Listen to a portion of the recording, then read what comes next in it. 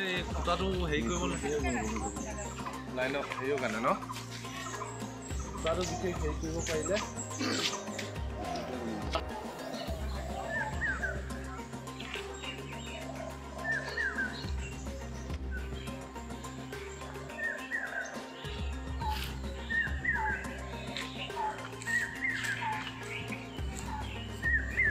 ৰাতি।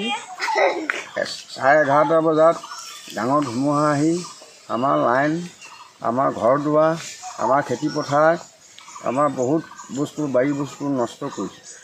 এনে গছ গছ গছনি ভাঙিছে ভাঙিছে। অতি সোনকালে চৰকাৰক আমি আবেদন কৰিছোঁ যে তেখেতসকলে আহি আমাক এইখিনি চাই আমাক কি ব্যৱস্থা সু ব্যৱস্থা কৰি দিব লাগে। ইলেক্ট্ৰিক ইলেক্ট্ৰিক লাইনটো আমাৰ চৌমাহ হৈ গ'ল। আজি আশী আশী বছৰমান হ'ল যদি তাঁৰডাল দিয়া এতিয়ালৈকে তাৰ নতুন তাঁৰ দিয়া নাই। এই সোপা তাঁৰ আজি নতুন তাঁৰ দিবলৈ আমি অনুৰোধ জনাইছোঁ তেখেতসকলক। এতিয়া কি গছ ভাঙি ৰাস্তা ভাঙি মানুহৰ ঘৰে দুৱাৰে পৰি আছে। আৰু বাট পথবিলাক কেনেকুৱা মানুহ যাব নোৱাৰোঁ।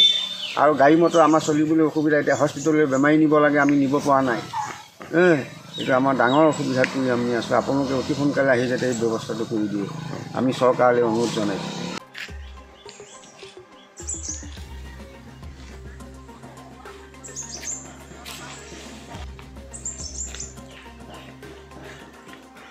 খুটাটো হেৰি কৰিব লাগে লাইনত হেৰিৰ কাৰণে ন? খুটাটো বিশেষ হেৰি কৰিব পাৰিলে।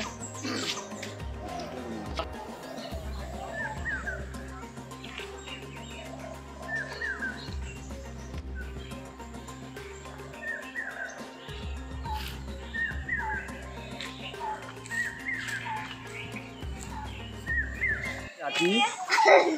চাৰে এঘাৰটা বজাত ডাঙৰ ধুমুহা আহি আমাৰ লাইন আমাৰ ঘৰ দুৱাৰ আমাৰ খেতি পথাৰ আমাৰ বহুত বস্তু বাৰী বস্তু নষ্ট কৰিছে।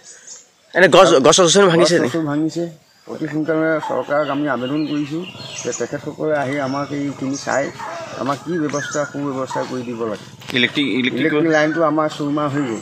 আজি আশী আশী বছৰমান হ'ল যদি তাঁৰডাল দিয়া এতিয়ালৈকে তাৰ নতুন তাঁৰ দিয়া নাই। এই সোপা তাঁৰ আজি নতুন তাঁৰ দিবলৈ আমি অনুৰোধ জনাইছোঁ তেখেতসকলক। এতিয়া কি গছ ভাঙি ৰাস্তা ভাঙি মানুহৰ ঘৰে দুৱাৰে পৰি আছে। আৰু বাট পথবিলাক কেনেকুৱা? মানুহ যাব নোৱাৰোঁ। আৰু গাড়ী মটৰ আমাৰ চলিবলৈ অসুবিধা এতিয়া হস্পিটেললৈ বেমাৰী নিব লাগে আমি নিব পৰা নাই। এইটো আমাৰ ডাঙৰ অসুবিধাত পৰি আমি আছোঁ। আপোনালোকে অতি সোনকালে আহি যাতে এই ব্যৱস্থাটো কৰি দিয়ে। আমি চৰকাৰলৈ অনুৰোধ জনাইছোঁ।